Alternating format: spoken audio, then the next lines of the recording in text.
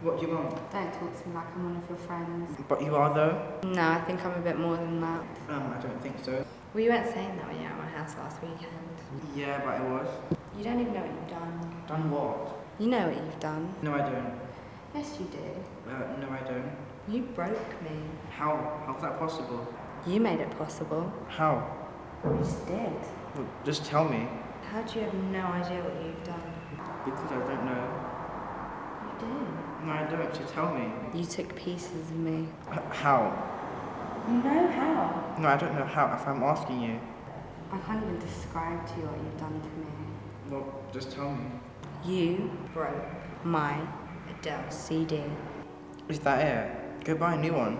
Never mind, I'll find